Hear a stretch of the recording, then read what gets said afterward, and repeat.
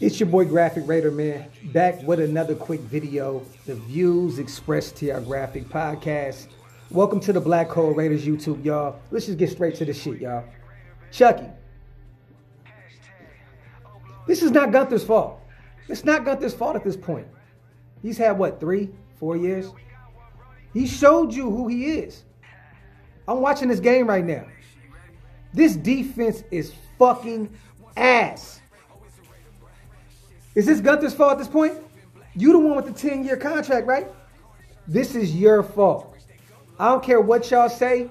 Chucky, this is your issue. You keep this man around. You call a conservative offense in the second half and you do certain things. This is all Chucky, man. At the end of the day, y'all, look, yes, Guenther needs to go.